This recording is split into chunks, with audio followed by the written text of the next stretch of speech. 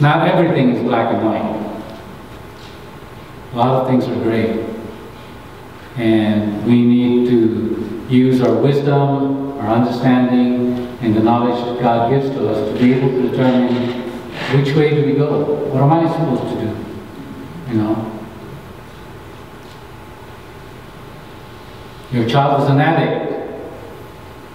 And you really feel that sense that I gotta kick this guy out. No, he's more than 21 and he's not shaping up. What are you supposed to do?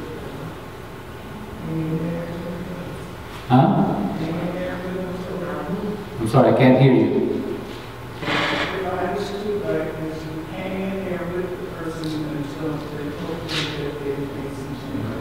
Hang Hanging there with the person, hey, Kyla's got her hand up. All right, what?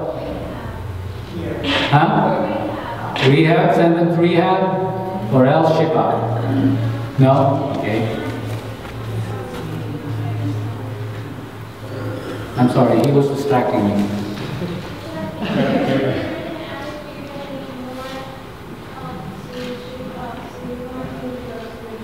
Need rehab and support, right? I say the same thing, rehab. Rehab. Okay. Let's look at this because last time, last Sunday, we passed through a passage that says, that where Jesus says, Come to me, all you who are weary and burdened, and I will give you rest. And so today, the, title of the message is Rest in Jesus. We need to find that rest. And how do we find that rest? And, and what are we trying to rest from? We want to answer those questions. Let's turn to Matthew chapter 12, verses 1 to 8. Verse 1. At that time, Jesus went through the grain fields on the Sabbath. His disciples were hungry and began to pick some heads of grain and eat them. Now, here you are.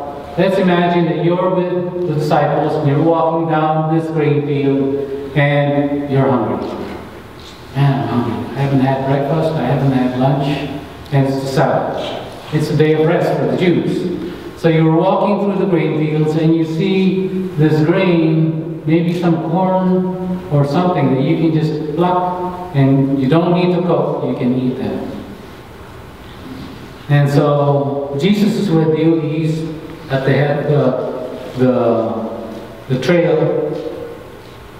And verse 2, here are some Pharisees who are walking and looking at what Jesus is going to do and what the disciples are going to do. When the Pharisees saw this, they said to him, Look, your disciples are doing what is unlawful on the Sabbath. And here you are, you're with the disciples and you're picking some grain or corn. And you're already eating. And here are the Pharisees, here are the teachers of the law, and they say, Look, your disciples. No, notice, they didn't say you and your disciples. It says your disciples are doing what is unlawful on the Sabbath. So apparently Jesus was not picking grain. Well, he could last the whole day, right? Being hungry, knowing that he probably lasted 40 days and 40 nights without eating and drinking, right? So he knows what it's like. Um, but disciples, and you happen to be there, you're just hungry. Your, your stomach is grumbling and saying, I need food, I need food. But the Pharisees say, hey, you guys are doing something wrong on the Sabbath. And it's supposed to be a day of rest. Verse 3, he answered, Haven't you read, and this is Jesus saying, haven't you read what David did when he and his companions were hungry? So what did David do? Yeah, he and his warriors, they got hungry, and the only food that was available was what? The showbread, the consecrated bread in the house of God. They went inside the house of God, took the showbread or the consecrated, bread, and verse 4 this was not lawful for them to do, but only for the priests, and they ate the consecrated bread. Now, according to the Old Covenant, that's taboo. We don't do that. But what did God say? Mercy triumphs over judgment. Huh? Mercy triumphs over judgment. He didn't raise it up. It was not an issue for God. It was a non-issue. Verse 5, Or haven't you read in the law that the priests on Sabbath duty in the temple desecrate the Sabbath and yet are innocent? So the law says that on Sabbath everyone should rest. Well, there happens to be um, a continuous 24, 24 day work that happens in the temple. And so these priests and Levites, they come into the temple and they still work on the Sabbath. And what does Jesus say? You know, they go inside, they work, and yet they're not held accountable for doing that because what's more important? Verse 6 I tell you that something greater than the temple is here. Here's the temple, here are the priests, but who's greater than the temple? He's insinuating now as to who is greater than the temple. Verse 7 If you had known what these words mean, and this is the words that we want to focus on today I desire mercy, not sacrifice. Can you say that with me? I desire mercy, not sacrifice. Now, I've read the, the New Testament over and over, and for a long time I didn't even know what that meant. God wants mercy, but not sacrifice. And yet the scripture also says that we should lay down our lives for each other. And the Old Covenant says that we should offer our sacrifices. Isn't that a conflict? Now we might say, no, there's no conflict, but for some people, when they look at that, there seems to be some kind of conflict here. Now, let's resolve that. He says in verse 8, now let's go back to verse 7, second part of that. I desire mercy, not sacrifice. And if you understood that, you would not have condemned the innocent. Now they were condemning the disciples and, you know, all those people. And we'll find later on in verses 9 to 14, they were condemning someone else too. Verse 8, For the Son of Man is Lord of the Sabbath. Now, this is a like a parallel. He says that someone greater than the temple is here. Something greater than the temple is here. So when he says the Son of Man is Lord of the Sabbath, he's saying the Son of Man is greater than the Sabbath. Son of Man, who happens to be human, we're not even talking about the Son of God. We're talking about the Son of Man is greater than the Sabbath. He's the Lord of the Sabbath. So he tells, he tells us, he tells everyone, he tells the Jews what can be done and cannot be done. And it's amazing that when we study this, that Sabbath has nothing to do with the 24-hour period that the Old Covenant stipulates. Old Covenant says the Sabbath is Friday sundown to Saturday sundown. But when we get to the new covenant, it's no longer talking about the day. I'm sure you know the answer to this because um, we've gone through the changes in the Worldwide Church of God. Um, but it's also good to look at this in a fresh new light. Jesus is the Lord of the Sabbath. Can you tell your neighbor that? Jesus is the Lord of the Sabbath. What that means is the Sabbath is lesser than him. He is greater than the Sabbath. Now, if you go back to Matthew 11, the last three verses there, Matthew 11, verse 28, he says, Come to me, all you who are weary and burdened, and I will give you rest. Can you say that with me? Rest. rest. What is the Sabbath about? Rest. Rest, right? Come to me, all you who are weary and burdened, and I will give you rest. I'm going to give you the rest that you need. Now, it's unfortunate that the last three verses of Matthew 11 is not attached to Matthew 12. So the guys who decided to split these uh, scriptures into different chapters and into different verses didn't realize what they just did. They, they made us look at one chapter and forget to look at the previous three verses. And so now we, we forget to, to connect the last three verses of chapter 11 with chapter 12. We should connect them because in the original there are no chapters and no verses. Right? There's no division.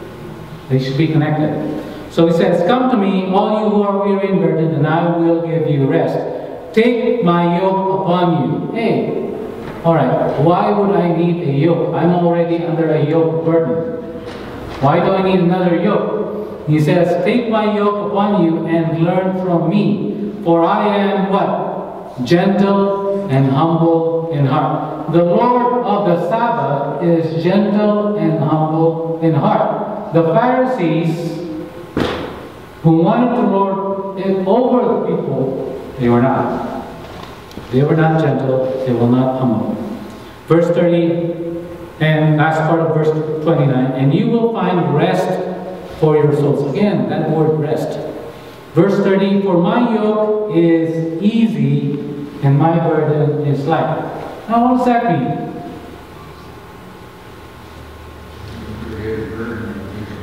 Huh? You won't put a heavy burden? Now, the imagery is with oxen. It's about oxen pulling a cart.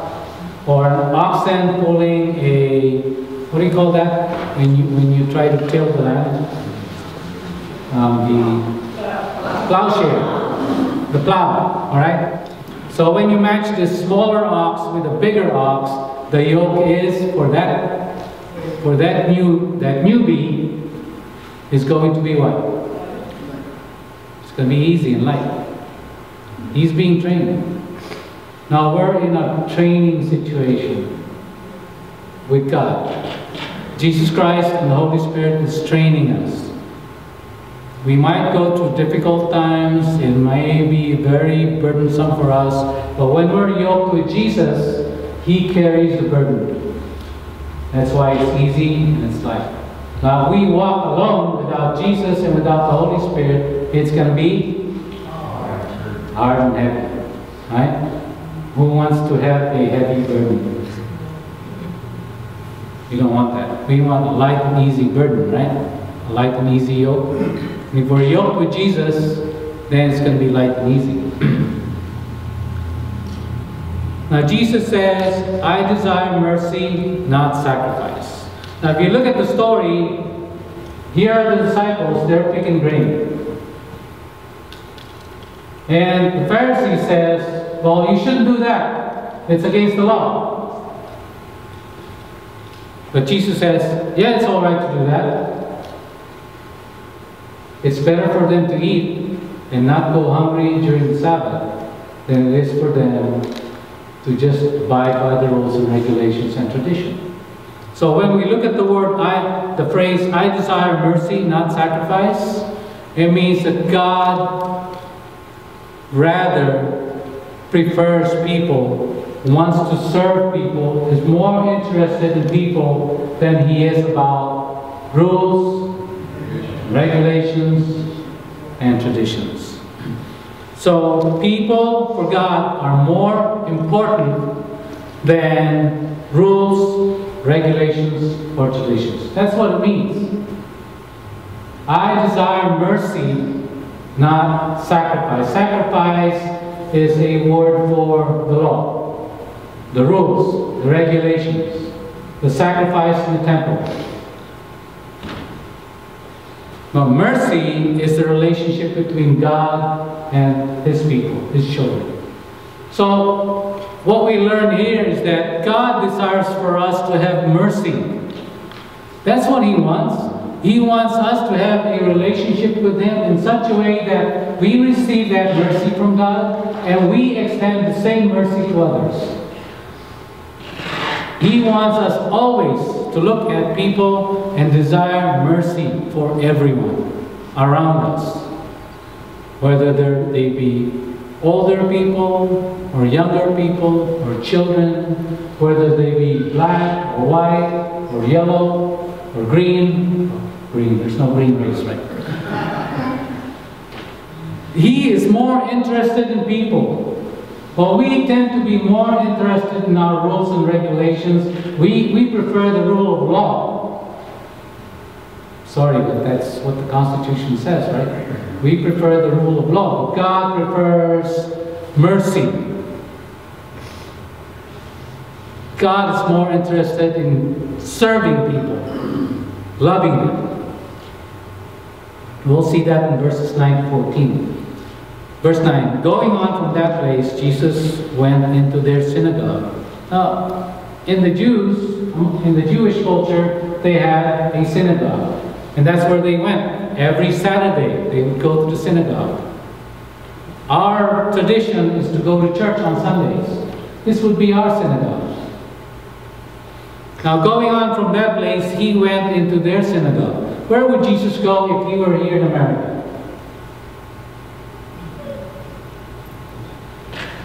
Where would Jesus go if he were here in America?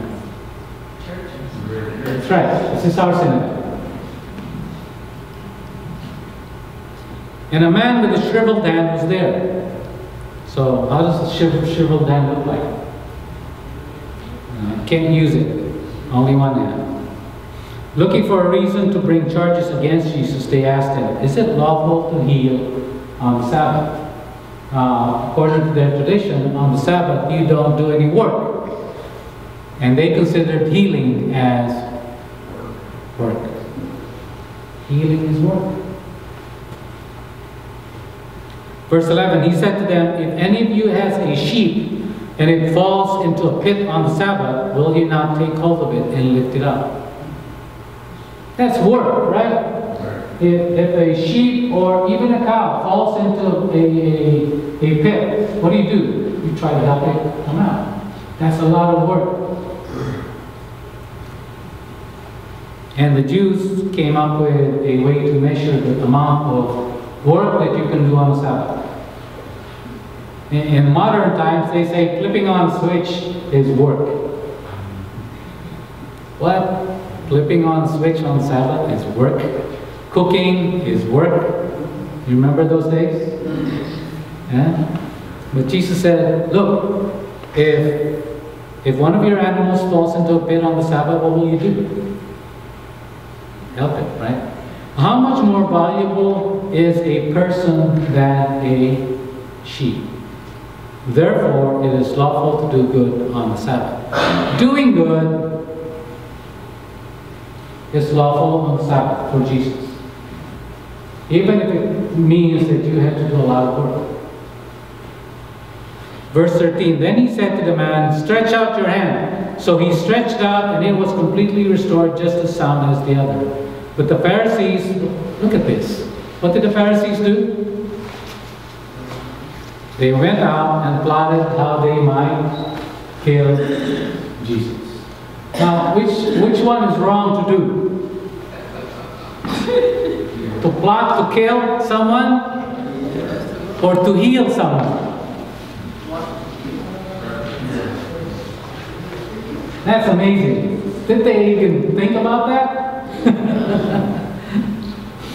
so, it is lawful to heal and do good at any time.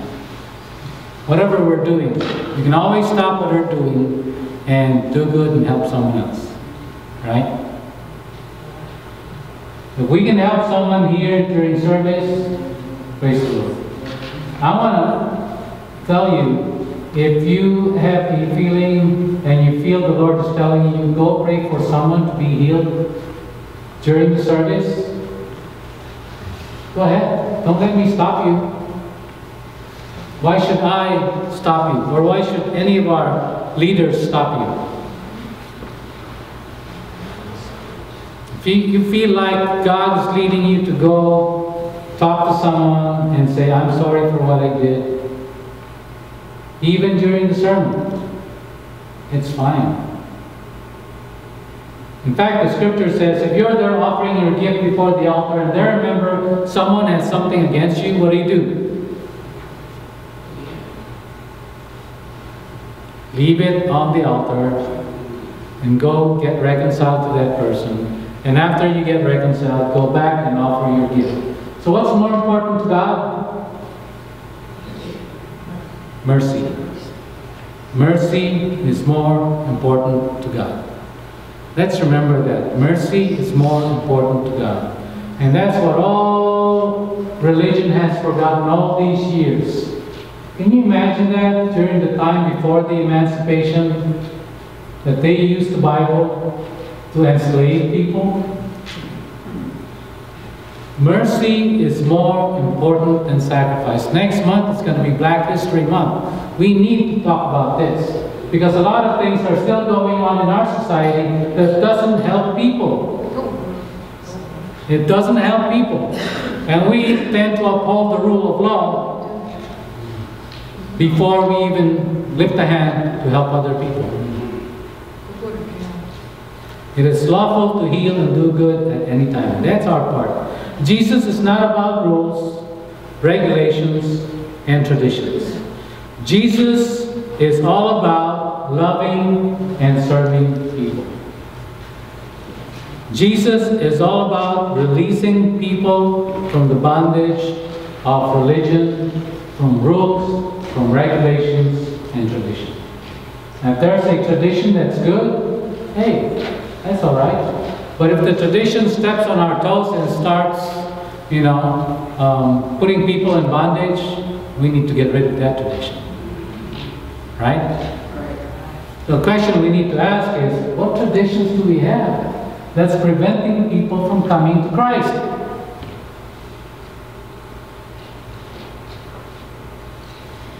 What traditions do we have that's preventing Christians from exercising their gifts to serve other people?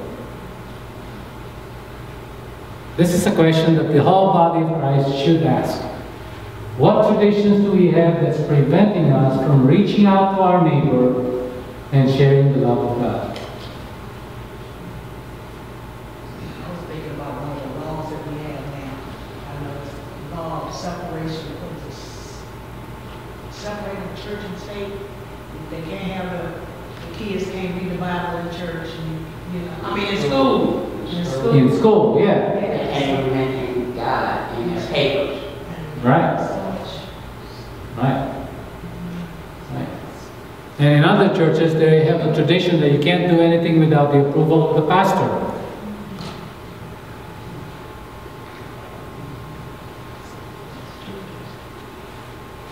Where do you find that in scriptures? And some churches, you can't go to the service. Oh, we had this before. I remember one of our ministers back in the Philippines. First time he went to the church service, a Sabbath service. And he had long hair. He was a hippie. The deacon said, well, you can't come to service. Third, you can't come to service. You got to cut your hair first. Now, that's an obvious bad tradition, right? But there are some that's not so obvious. You got to figure those things out too. We need to, you know, we need to let God determine what do we need to change? What's stopping people from coming to Jesus Christ? What are we doing that's stopping people from coming to Christ? I know what I did to my children that would have stopped them from coming to Christ. I'm glad they're not that far away, you know. Teenagers do individuate, so we can't do anything about that, but, you know. And some teenagers are like, you know, they want to go with their parents. Some teenagers just want to leave. Some people, but, but, but can we find ways? Can we change our traditions? Can we change our thoughts? Can we even change our theology to open up the gates of heaven so that people can come? I'm, I'm inviting you to just lay it all out before the Lord and see what He says. I'm not trying to put pinpoint on anything that we're doing. All I'm saying is let's lay it out before the Lord. Let's ask the Lord, what are we doing, God? What am I doing? What are my thoughts and my traditions, my rules that's stopping other people from coming to you? I want to set that aside. I want to have mercy rather than sacrifice. I want what you think. I want what, what you want to say to me, Lord, and what you want to say to other people, and some of the things that maybe hinder us from being able to share the love of God is our fear that maybe they won't accept it. Or our fear that we'll get kicked out of the school system if we say something. Or our fear that this is against the law. Or my fear as a chaplain that I'll get kicked out as a chaplain if I start sharing the gospel.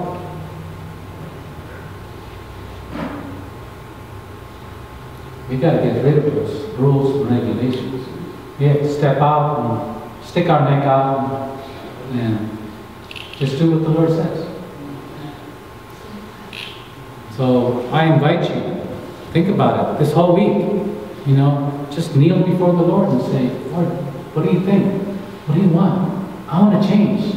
If I want to have a resolution this year, I want to be, I want to have your resolution for me.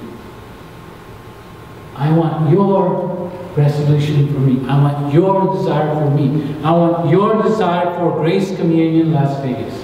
I want your resolution for Grace Communion Las Vegas. I want your desire for Las Vegas. And if I have fear, oh God, please remove that from me. Just cast it out. Cast out that fear, that darkness in my soul. And let me walk out in faith and encourage. Let me leave behind everything that stops me from coming closer to you and bringing others to Jesus Christ. Let me leave behind everything that's stopping others because of me.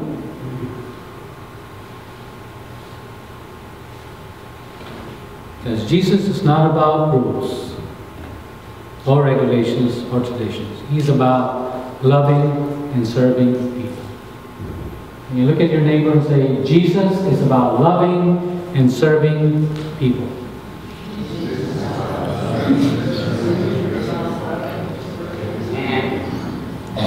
Right? Let's pray. Father, in Jesus' name, we just come to you and we ask you, oh God, that you could just, Lord, open our eyes. Let us see what's wrong, what needs to be undone, because we've we've done so many things that we know that is not right before you. Things that are not your desire. Sacrifice rather than mercy. Lord, we want to be in your will, and your will is for us to be able to share your love with others. So God, we come to you, we ask you, oh God, open our eyes, show us the way, show us the way. This year, I dedicate 2016 to be a year when we would look up to you and do what you want, oh God. We desire your will. We desire mercy rather than sacrifice. Lord, we lift this up to you in Jesus' name.